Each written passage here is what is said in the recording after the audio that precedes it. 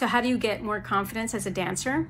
One thing that you should do in a dance studio every time you're about ready to dance is look at yourself in the mirror. And I don't mean looking at your body because obviously we always do that as dancers. We're always critiquing everything. I mean, actually, before everything, make that eye contact with yourself. So look at yourself in the mirror and just have that one moment of, I am here, I am ready, I am ready to express myself, and I have something worthy to express.